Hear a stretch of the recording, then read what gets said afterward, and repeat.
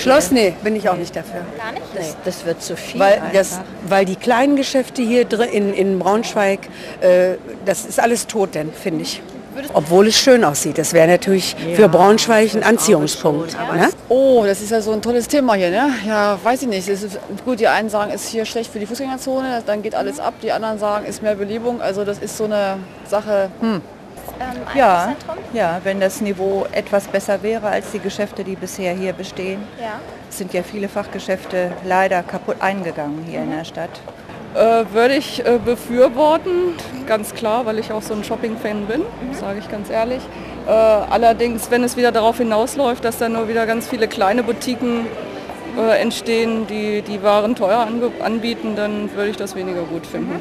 Nee, überhaupt nicht. Finde ich total Quatsch. Weil dann wird die Innenstadt, das, das zieht die Leute ja aus der Innenstadt hinaus. Und also würde ich sagen. Und ich finde die Innenstadt ist so schön und ich gehe so gerne hierher, allein von den Häusern. Es ist einfach so eine nette Atmosphäre hier.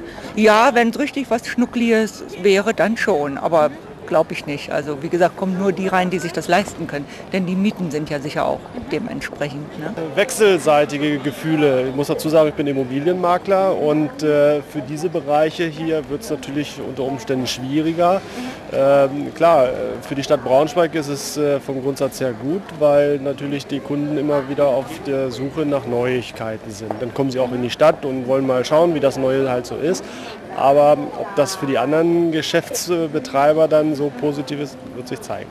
Ich habe damals gekämpft als Schülerin äh, für das Schloss. Wenn das Schloss aufgebaut würde, da habe ich mir vorgestellt, ein wunderbarer Konzertsaal, ein Café, ja, oder eine Ausstellung, so hatte ich das. Das ganze Schloss natürlich nicht, vielleicht nur das Portal, das Mittelschiff. Aber dieses Kombinierte mit dem Modernen, wo soll Braunschweig hin? Gucken Sie sich an, alles macht zu. Und hier in der Innenstadt keine schönen Grünanlagen, keine Töpfe, keine Blumen. Da ist sogar Wolfenbüttel jetzt hübscher geworden. Ähm, ich finde das Schloss, das ist dann auch schon was Nettes, wenn es da steht. Also ich bin sowieso nicht da so oft im Park. Ich gehe in andere äh, Parks, weil ich den eigentlich nicht ganz so schön finde. Also von daher würde ich für das Schloss ist mal was. äh, Man muss natürlich auch hier äh, die Leute halten, ne? Nicht, dass sie in andere Städte fahren. Es muss mal wieder was geboten werden. Und da denke ich, da hinten ist so eine tote Ecke, das muss ein bisschen aufgewertet werden. Und wird Der gebraucht auch. Ja, denke ich schon. Ja. Sonst fahren die Leute woanders hin. Sonst wird das dann irgendwann nicht mehr attraktiv genug sein.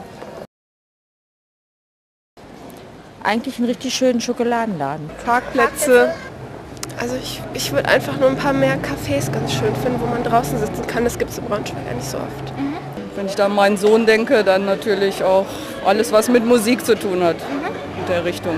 Ähm, ja, ein bisschen die gehobenere Preisklasse. Also das ist mir zu jugendlich, zu einfach. Also ich gehe viel, in, wo es Marken gibt, Dükan und so weiter. Diese Boutiquen, die so ein bisschen was Ausgefallenes haben. Ne? Ja, sowas wie in Oberhausen zum Beispiel, das Centro, das finde ich ganz gut. Äh, ja, klassische Mode zum Beispiel. Ja, man schreibt ja, dass da viel Kultur reinkommen soll.